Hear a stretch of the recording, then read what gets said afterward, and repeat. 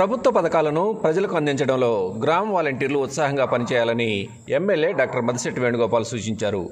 నియోజకవర్గ పరిధిలోని కుర్చేడులో శుక్రవారం నిర్వహించిన వాలంటీర్ల సత్కార వేడుకలకు ఎమ్మెల్యే ముఖ్య అతిథిగా హాజరయ్యారు. అనంతరం కుర్చేడులో నిర్మాణమవుతున్న గురుకుల పాఠశాల అభివృద్ధి పనులను ఎమ్మెల్యే వేణుగోపాల్ పరిశీలించారు. అనంతరం బోధనపాడు సచివాలయాన్ని సందర్శించిన సందర్భంగా గ్రామస్తులు ఎమ్మెల్యేను ఘనంగా సత్కరించారు. ఎంపీపీ బెల్లం కోటేశ్వరమ్మ జడ్పీటీసీ నుసు వెంకట నాగిరెడ్డి మాజీ ఎంపీపీ మేరో సుబ్బారెడ్డి ఎంపీడీఓ దారా హనుమంతరావు పలువురు సర్పంచులు ఎంపీటీసీ సభ్యులు కార్యక్రమంలో పాల్గొన్నారు. ఇలాంటి ఐదు వందల నలభై సర్వీసులు ఇవాళ మన గ్రామ సచివాలయ పరిధిలో ప్రతి గ్రామంలో వాలంటీర్ల ద్వారా సచివాలయ సిబ్బంది ద్వారా జరుగుతుందనేది అది నిజం సత్యం కూడా మరి అలాంటి వ్యవస్థ పెట్టినప్పుడు మనందరం కూడా కొంచెం డౌట్ ఉంది ఈ వ్యవస్థ ఎలా నడుస్తుంది అనేసి కానీ అలాంటి వ్యవస్థని ముఖ్యమంత్రి గారు తీసుకొచ్చి ఎంతో గొప్ప ఆశయంతో ప్రతి గ్రామంలో ఇలాంటి సమస్య వాళ్ళ సమస్యలు ఏదైనా సరే గ్రామ స్వరాజ్యం రావాలి ఆ గ్రామస్తులు ఆ సమస్యలు వాళ్ళ ఊళ్ళోనే సమస్యలు పరిష్కారం జరగాలని చెప్పి ఒక గొప్ప ఆలోచనతో ముఖ్యంగా ముఖ్యమంత్రి గారు పెట్టినటువంటి వ్యవస్థ ఈ వాలంటీర్ వ్యవస్థ కానివ్వండి అదేవిధంగా సచివాలయ వ్యవస్థ కానివ్వండి.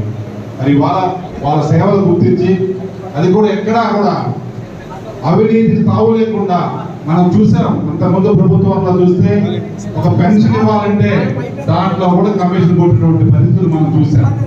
మరి అలాంటి పరిస్థితుల్లో మన ప్రభుత్వం వచ్చిన తర్వాత ఎక్కడ అవినీతి తావు లేకుండా ఎండనక వాననక చివరికి కరోనా టైంలో కూడా ఎంతో కష్టపడి వాలంటీర్లు అందరూ కూడా వాళ్ళ సేవలు చేసి ఆ యాభై కుటుంబాలని వాళ్ళు పెద్దగా ఉండి మరి వాళ్ళ సేవలు అందించినందుకు వాళ్ళందరూ కూడా మాకు ధన్యవాదాలు చెప్పాలి. మనందరూ వాళ్ళని గౌరవించుకోవాల్సిన సమయం రాష్ట్రానికి మనకి హీరో ఎవరైనా అంటే మన ముఖ్యమంత్రి అయితే ఆ యాభై కుటుంబాలకి ఎందుకంటే ఆ యాభై కుటుంబాలకి మీకంటే ఎవరికి తెలియదు?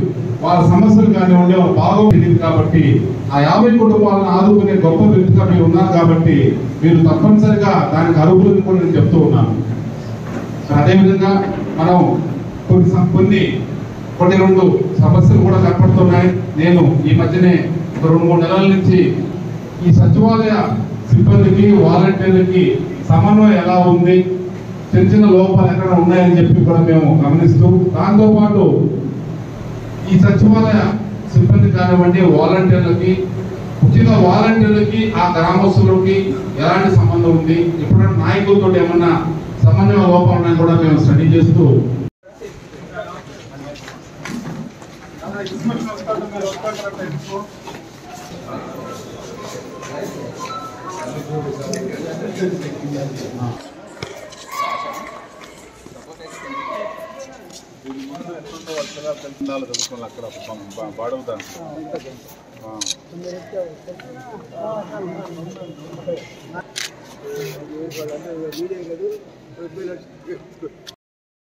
Like, share, subscribe, and get notification.